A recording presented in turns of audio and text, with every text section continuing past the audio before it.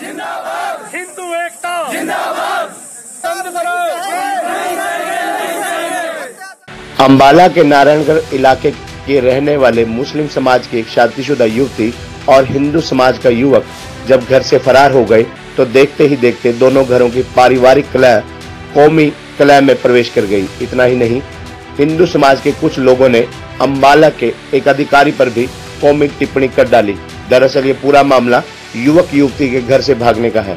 नारायणगढ़ के गाँव खानपुर ब्राह्मण के रहने वाले युवक, युवती अलग अलग धर्मों से हैं, जो कि अब लापता हैं, जिसके बाद ये लड़के वालों की तरफ़ से लड़की वालों पर गंभीर आरोप लगाए जा रहे हैं।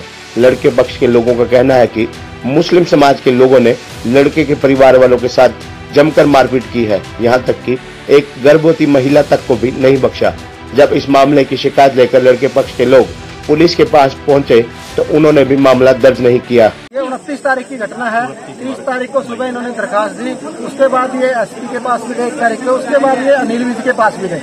लेकिन इनकी कहीं पे कोई सुनवाई नहीं हुई।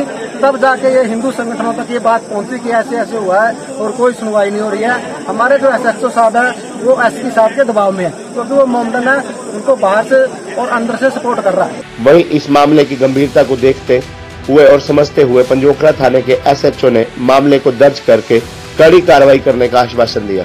ब्राह्मण का एक मुस्लिम समुदाय की लड़की और एक हिंदू समुदाय का लड़का पंजाब से चले गए दोनों, पंजाब में सब लड़की शादीशुदा थे आज हिंदू समाज के लोगों ने मुदई के साथ आके दरखास्त दी है, यहाँ पर उसके अनुसार हमने मुकदमा दर्ज कर जो भी डॉक्यूमेंट है, जो भी इसमें डॉक्टर की राय लेनी है, डॉक्टरों की ओपिनियन लेनी है और अपने मुख्य अधिकारी है जो हमारे अफसरों भी मामले को वेरीफाई करेंगे और जल्द ही गिरफ़्तार